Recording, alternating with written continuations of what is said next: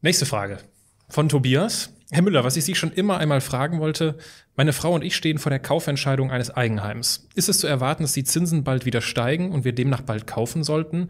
Oder ist womöglich mit einer Währungsreform zu rechnen? Puh. Kann niemand wirklich beantworten. Also ich gehe davon aus, dass wir die Zinsen in Europa noch äh, eine ganze Weile so niedrig behalten werden. Wir können uns Zins, Realzinssteigerung überhaupt nicht leisten. Äh, wir haben nur einen Zinssatz für ganz Europa. Den italienischen Banken und nicht nur denen steht das Wasser bis zum Hals. Ähm, würde man die Zinsen erhöhen, erhöhen äh, würden die Kreditnehmer in Italien sofort unter Wasser geraten und die italienischen Banken in größte Schwierigkeiten kommen. Das heißt, ich kann momentan nicht abschätzen, dass in Europa die Zinsen erhöht werden. Es sei denn, wir bekommen eine höhere Inflation. Aber ähm, da reden wir über Realzins juckt gerade der Nase. Wir reden über Realzins. Ähm, das heißt, mit steigender Inflation und steigenden Zinsen ist es ein Nullsummenspiel. Aber ähm, Realzinserhöhungen für Europa sehe ich momentan nicht. Ähm, was das Währungsthema angeht, ja, wir sind in verdammt gefährlichen Situationen momentan, was die Weltwirtschaft angeht, was die Weltfinanzmärkte angeht und wir haben keine Ahnung, wo da die Reise hingeht. Es kann noch zehn Jahre gut gehen, es kann 20 Jahre gut gehen. Wir retten uns hier von einem Thema zum nächsten und stabilisieren das und wir sind alle tot, bevor hier irgendwo eine große Krise ausbricht. Kann passieren. Ähm, es kann aber auch schon begonnen haben, dass wir vor einem riesen Crash stehen mit äh, Folgen für die, für die Währung, mit Folgen für die Anleihemärkte und mit ganz großen Turbulenzen. Das weiß man nicht. Die Spannungen sind da. Mein liebstes Beispiel ist, es ist etwa wie äh, bei einem Seismologen bei Erdbeben. Man kann tektonische Plattensysteme erklären. Ein Seismologe kann genau beschreiben, wie unter San Francisco die Plattensysteme verlaufen, äh, wie die Spannungen sich aufbauen, wie das System funktioniert. Und er kann die Spannungen auch messen und kann sagen, wow, das ist verdammt gefährlich momentan. Wir haben Riesenspannungen zwischen diesen Platten, die haben sich schon so lange nicht mehr äh, so lange die Spannung aufgebaut. Das kann jeden Moment reißen und the big one geben. Aber er kann Ihnen nicht sagen, in 14 Tagen um 12 Uhr passiert das. Er kann sagen, das kann jetzt passieren, es kann in 100 Jahren kommen. Ich weiß es nicht.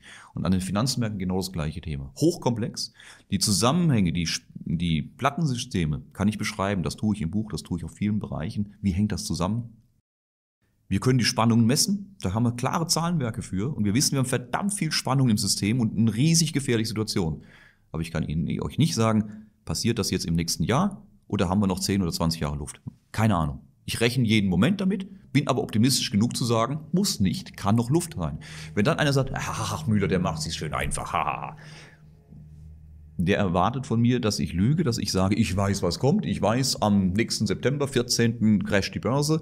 Das wäre Charlatanerie. Kann ich nicht machen. Ich bin da wie ein Seismologe. Ich kann wissenschaftlich erklären, wie es zusammenhängt. Ich kann es beschreiben, Spannungen und alles und die Risiken benennen. Aber ich kann nicht sagen, was passiert. Also, dann höre ich mir lieber an, dass ich mich nicht festlege, dass ich mir leicht mache, ähm, als dass ich was Falsches erzähle. Also sage ich, Freunde, so äh, sieht's aus, das ist die Lage. Wer es hören will, hört sich's an. Wer nicht, äh, sucht sich einen Scharlatan, der ihm sagt, wann es crasht oder der ihm sagt, dass es nie crasht.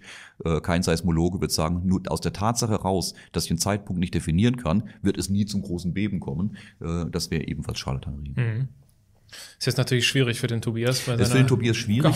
Dazu muss man sagen, gerade wenn es ums Eigenheim geht, man sollte ein selbstgenutztes Eigenheim auch nie als Geldanlage sehen, sondern wirklich als Luxus, den man sich gönnt.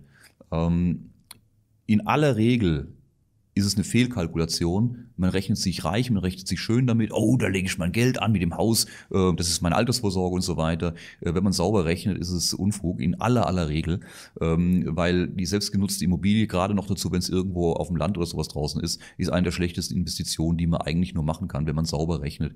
Äh, was an Nebengebühren dazu kommt, was im Laufe der Jahre kommt, an Reparaturkosten, an Erhaltungsaufwand und und und, an Unsicherheit, die damit einhergeht, wenn ich meinen Job verliere, ähm, die Frau fängt saufen an oder was weiß ich, was alles passieren kann im Leben, ja. Äh, wenn man alles reinrechnet, es ist ein Luxus. Ich wohne selbst im Eigenheim, aber mir ist immer klar darüber, es ist ein Luxus, den ich mir gönne. Es ist schön, im eigenen Haus zu wohnen, selbst zu entscheiden, wann ich den Garten umgrabe und wann ich eine Wand rausreiße. Aber es ist mir ein Luxus, den ich nie als Geldanlage sehe, wenn es am Ende gut geht. Wenn alles so toll läuft und tatsächlich äh, ich am Ende in diesem Haus lebe und es gehört mir.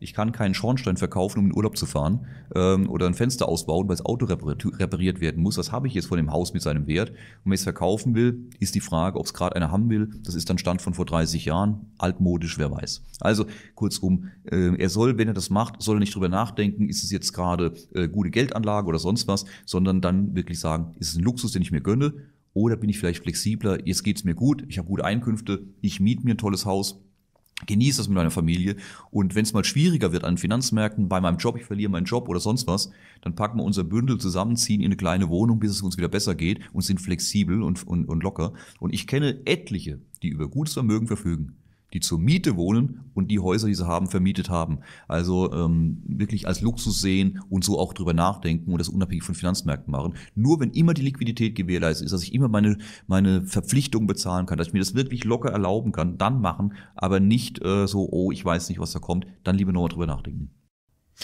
Ja, dann äh, schöne Grüße an Tobias in den Westerwald.